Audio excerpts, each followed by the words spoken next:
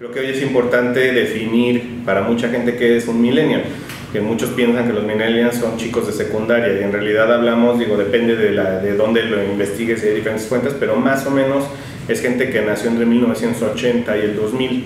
O sea, yo soy millennial parte alta, por ejemplo, yo soy del 82. Entonces hablamos de gente de entre 18 y 35 años, básicamente. Si ya lo ves así, cambia mucho la perspectiva de cuando solamente eres millennials pensando en, en adolescentes. Hoy estamos hablando también de algunos jóvenes este, pues, adultos. Creo que genera una imagen real. Eso es algo que es bien interesante de lo que vamos a platicar. ¿Cuál es la tendencia en cuanto a el tipo de, de productos que están consumiendo? Se está volviendo mucho hacia lo natural, estamos yéndonos a productos libres de conservadores y demás, pero eso también está impactando ya en el tema de contenido. Ejemplo, ¿no?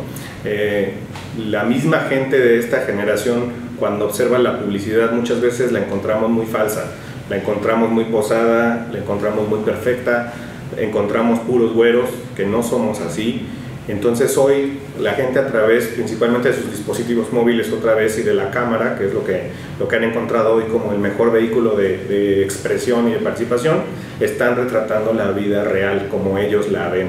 Y eso es lo que ahora, eh, como tendencia otra vez, que es de lo que vamos a hablar, es lo que las empresas están tratando de aprovechar. Cómo poder lograr que este consumidor se sienta más identificado, que aumente una conexión emocional. A vez hoy en día es adaptarse a la velocidad en la que se están consumiendo eh, las cosas, tanto los productos como en este caso los contenidos o la misma publicidad, porque esta generación millennial, así como, como mencionas ahorita, la, la siguiente, ¿no? que ya estamos hablando de estos centennials, eh, lo que quieren es inmediatez.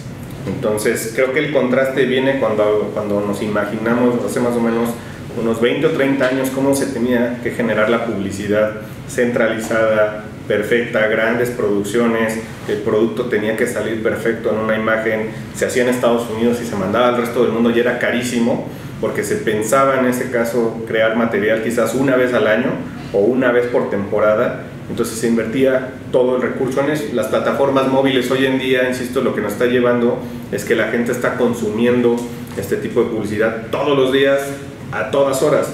O sea, no es como antes que pensábamos en el comercial que iba a salir en el horario estelar de televisión una vez, sino que ahora la gente te tiene que estar viendo varias veces todos los días y eso es muy caro. Entonces, ¿cómo está evolucionando eso? Pues a través de este mismo contenido que puede generar las masas. O sea, la gente ya está consumiendo, la gente ya está creando cierto contenido. La idea creo que hoy es poder tratar de canalizar ese, ese contenido un poco, vamos a llamarle en bruto, que está por allá afuera y direccionarlo en, en favor de las marcas.